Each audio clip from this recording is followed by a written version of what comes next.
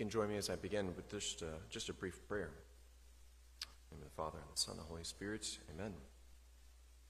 Lord God, we ask for your blessings of wisdom and, and grace and truth in your teaching.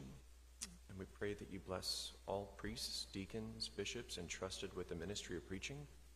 And bless all parishioners, Lord, that they may hear only those things which are from you, that they may be edifying and bear fruit. We ask this in your most holy name, Jesus Christ our Lord. Amen. Father, Son, and Holy Spirit. I don't normally do that, but I do that for two reasons today. One is I'm just still a little tired from the celebrations uh, yesterday at the picnic. And number two, I have a lot of thoughts. So I'm trying to ask for the Holy Spirit's guidance as to what thoughts should be conveyed today. But I think I'm speaking today to something very important. Actually, I would I don't think this is an understatement. I think this may be one of the most important messages. Maybe of your life. And I, again, I don't mean that as an exaggeration. And it's about loneliness. Loneliness is such a heavy cross to carry.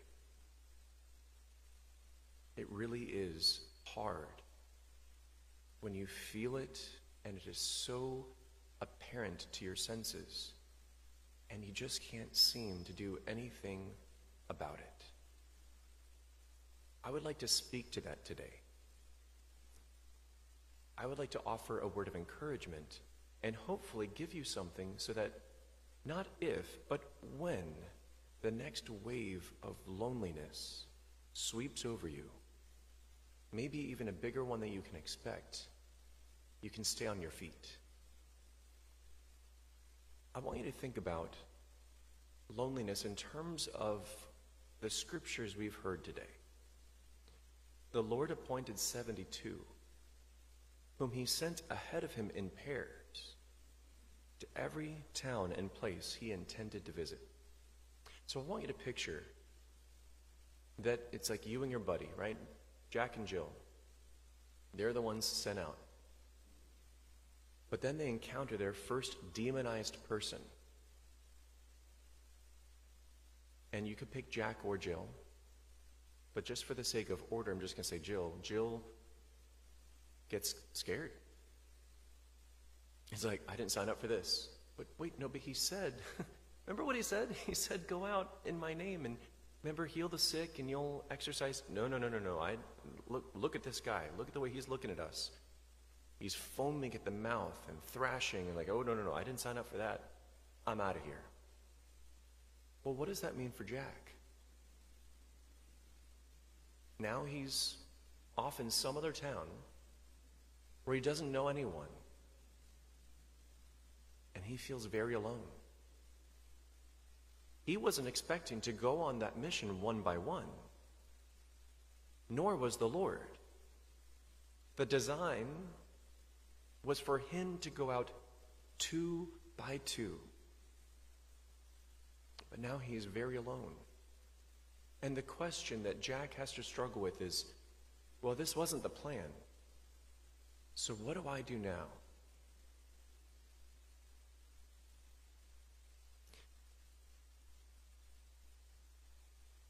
I think it's so important that we make sure we get that answer right. Because if not, there's lots of false reasonings that can lead us down a bad path. Because Jack feels, I am so alone. He feels so alone. It seems that he's so alone. And he may conclude that he is so alone. But in his fear, he forgot something that the Lord gave him a promise I am with you always. I am with you always.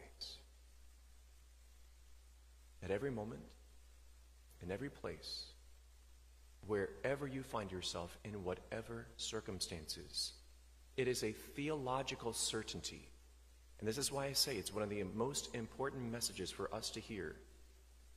This is a theological certainty of faith. You have never been alone.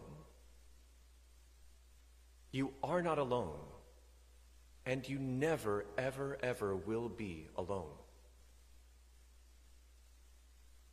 We have a choice to make as disciples of Jesus Christ. Either we are going to live according to that theological truth and face our fears and our contrary feelings, or we, by our actions, even if it's not conscience, conscious, are going to live according to our fears and desolations and make our choices to escape those dissatisf- dissatisfying feelings so that we can feel better. My question to you today is which is necessary for the mission to be accomplished?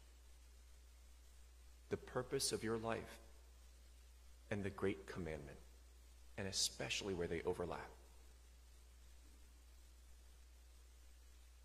I don't want you, and I am striving to challenge myself not to live in a way so that when I die, I have a whole laundry list of my failures to act, to resist loneliness, and to be true and persevere. And then the Lord says, But Kevin, didn't you remember that I, I promised to be with you? But Jesus, I couldn't see you. But Kevin, I said, I am with you always. But Jesus, I called out to you and I didn't hear anything. But Kevin, I, I was speaking English. Well, he wasn't, but for our purposes, the translation was in English. I am with you always. But, but Jesus, it just, you should have revealed yourself sooner. It was too long. You left me feeling alone too long. But Kevin, I gave you enough words. And my word is truth. Heaven and earth will pass away. But the words, I am with you always, will never pass away.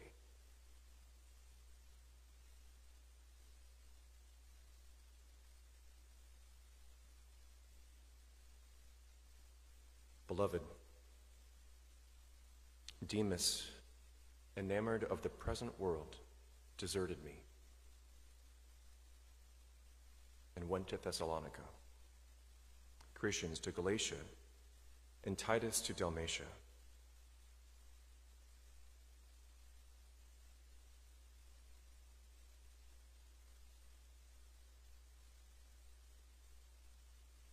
Luke is the only one with me.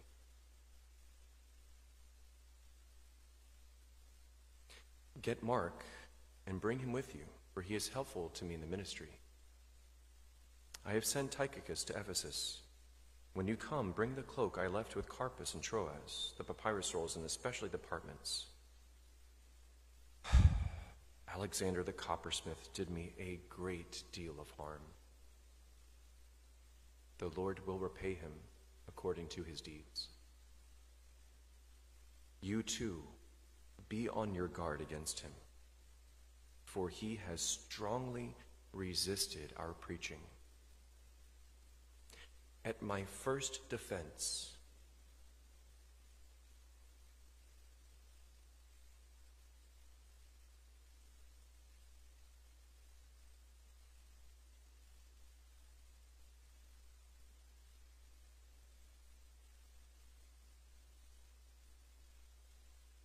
In my first offense, no one appeared on my behalf. No one. No one.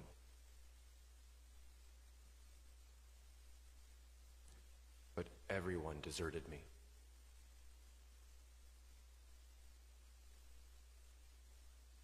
May it not be held against them.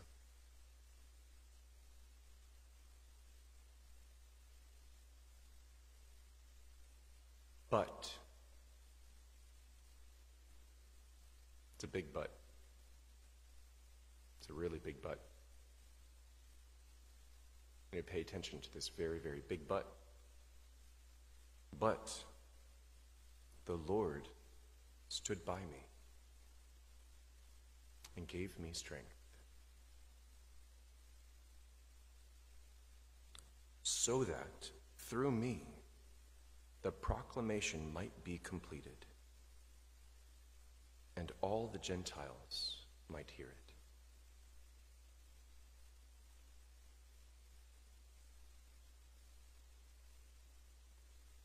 From Psalm 145 today The Lord is near to all who call upon him. All.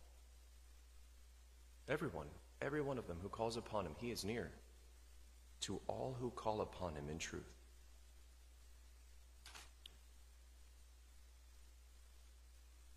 Fulton Sheen said, Moral principles do not depend on a majority vote. Wrong is wrong, even if everybody is wrong. Right is right, even if nobody is right. I would like to modify that given our circumstances today in this reflection, which I apologize is going long, and if you need to run to work, you have my blessing to make a spiritual communion and go on your way. I'm just going to take a liberty of sharing just a couple more thoughts. Let me repeat that. Moral principles do not depend on a majority vote. Wrong is wrong, even if everybody is wrong. Right is right, even if nobody is right.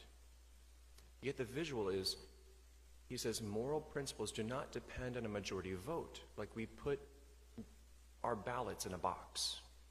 I would like to modify that image given our reflection today about loneliness, which there's certainly a clear overlap.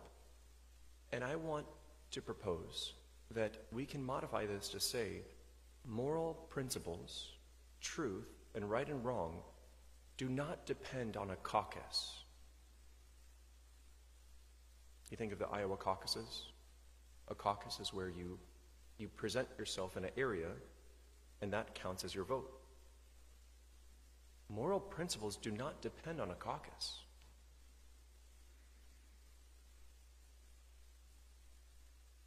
If the commandment says, do not lie, and the Lord says, okay, well, everyone kind of show your cards. What are you going to live by? Where are you going to go? And you, you go to the room that says, I believe we shouldn't lie, and I think we should act according to that. And you get in there, and none of your friends are there. Your family members not there. Your students aren't there. Your classmates aren't there. Your coworkers aren't there.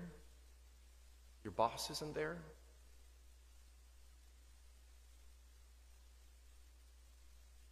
What do you do? Well, I don't want to be in this room alone. Where's everyone else? Where's the party at? Where can I escape this feeling of being so alone. You're not alone in that room. There is one standing with you whom you cannot see with your natural eyes, but you can be certain is there with the eyes of faith. Are you going to leave him alone in that room? Because he's not leaving.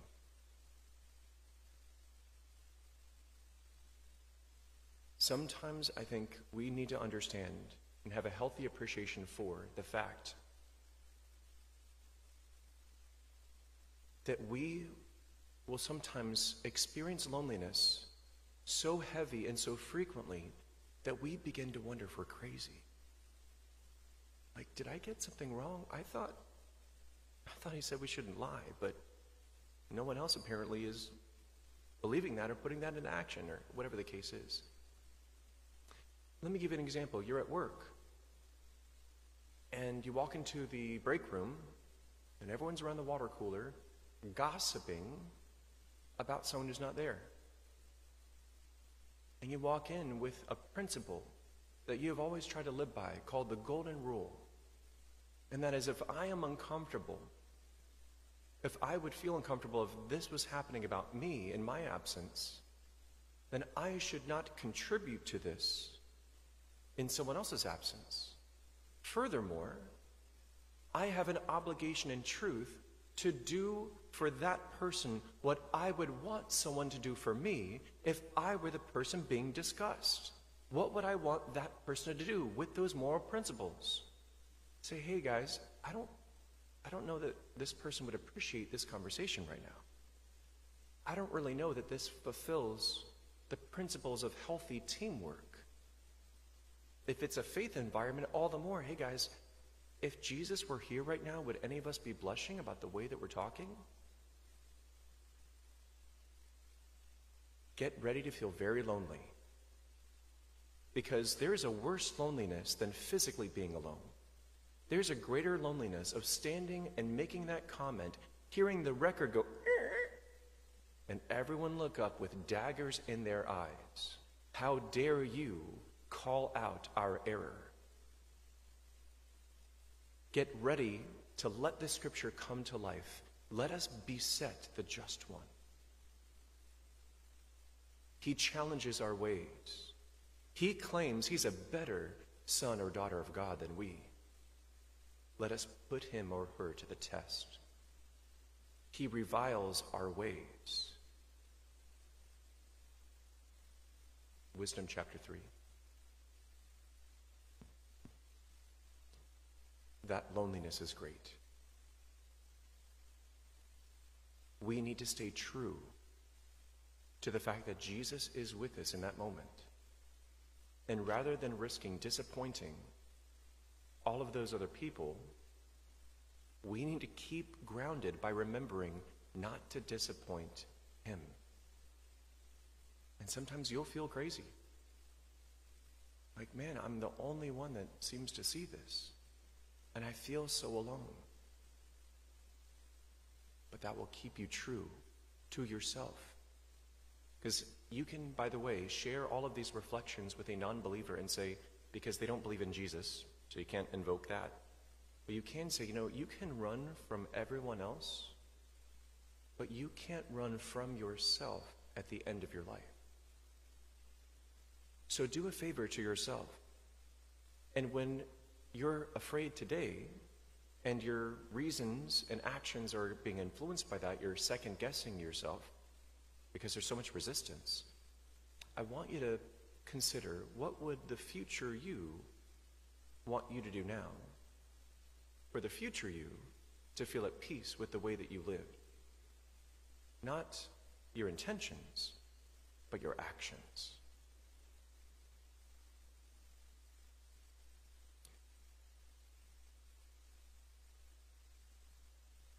It's hard enough when we go out and we are sent alone and it's not according to the, pro- to, to the program. It's even worse when we have an expectation that we will be sent out as lambs among wolves and one of our fellow lambs acts like a wolf and we never saw it coming.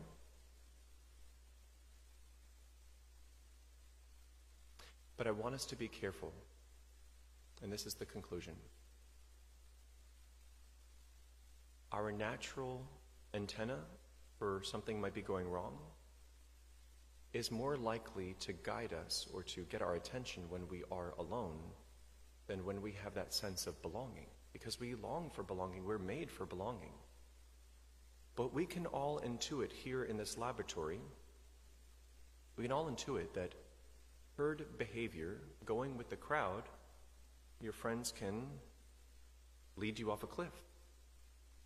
And that's not a good thing. We can also intuit that if we're on that path, on a path, and we're all alone, we might stop and go, wait a second, did I miss something? Am I about to go off a cliff? But notice how only one of those we're naturally inclined to question our environment. In the first, everything seems to go great until it doesn't. The second, it doesn't feel right. And so we're more likely, if we are going to the direction of a cliff, we're more likely to catch ourselves. But what you don't want to do is unreflectively immediately conclude that loneliness is bad, and then you stop doing what is right. Because if Jesus has sent you two by two, and your companion leaves you hanging, you follow the Master's words. You remember that you are not alone, that the Master is with you, and trust that doing his mission will often bring about situations where you feel very lonely. But at the end of the day, you have to keep your eyes focused on that mission and what actions will serve that mission, not your personal comfort. That's integrity. And if we do not have it, the mission will not succeed. But if we put this into practice, we will hear the words, Well done, good and faithful servant. You will never feel lonely again. Come into the communion of the Trinity, Father, Son, and Holy Spirit. Come into the communion of the church triumphant with myriads and myriads of angels upon angels and the whole communion of the saints. And I can't wait to get you around that water cooler of living water, and you get to shake hands and tell stories with all the people like you who stayed true in times of great loneliness, and you can celebrate all of the grace and beauty that has come from that. And the fact that by your actions, you inspired others to be men and women of integrity too. And you can rejoice in that. I'm going to show you in eternity all of the, the wake of exponential blessing that your life brought. Well done, good and faithful servant. Come and share your master's joy.